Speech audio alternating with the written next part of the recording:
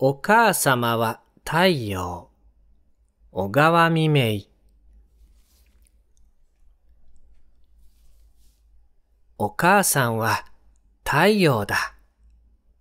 ということが私にはどうしてもわかりませんでした。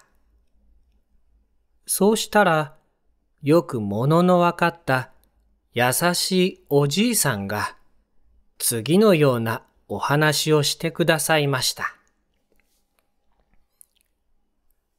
わしは子供の自分、大勢の兄弟がありました。そしてみんながお母さんを大好きでした。みんなは朝起きると眠る時まで楽しいことがあったと言い、悲しいことがあったと言い、お母さん、お母さん、と言いました。そして、お母さんの後ろについたものです。昼間がそうあったばかりでなしに、夜になって寝るときも、みんなはお母さんのそばに寝たいと言って、その場所を争いました。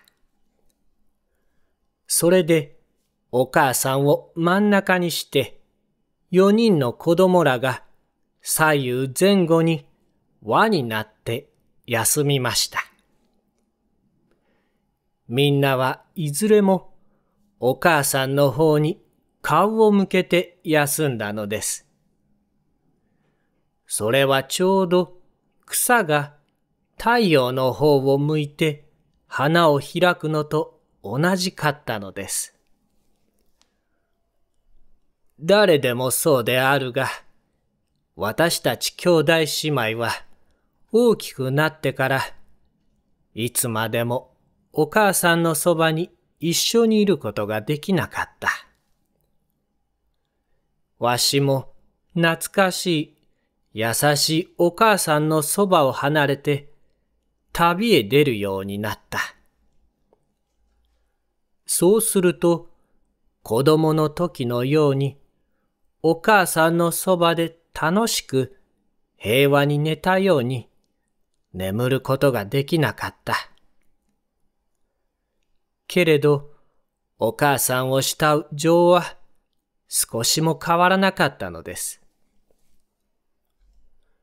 もう一度、ああした子供の自分に帰りたい。と思わないことがなかった。そして稀に故郷へ帰ってお母さんを見ることはどんなに楽しかったか知れません。遠く故郷を離れて他国にいる時でもいつも優しいお母さんの幻を目に描いてお母さんのそばにいる時のように懐かしく思ったのでした。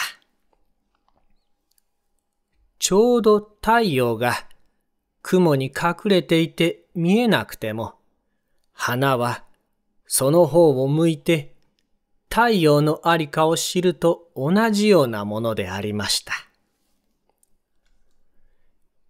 今、わしの母は、もうこの地上にはどこを探しても見出すことができない。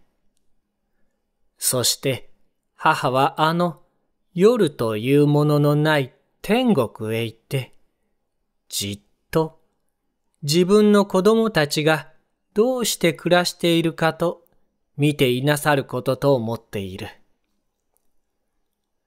それでわしは、この年寄りになっても、西の夕空を見るたびに、懐かしいお母さんの顔を目に思い浮かべるのです。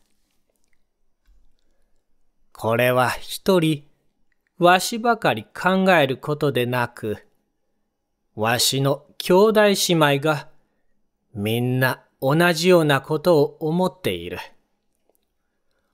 お母さんが太陽だということは、これでもわかるでありましょう。これが物分かりのいい、人のいいおじいさんのお話でした。私にはよくその意味が分かった。また、皆さんが草や花なら、お母さんは、まさしく太陽であると言えるでありましょう。おしまい。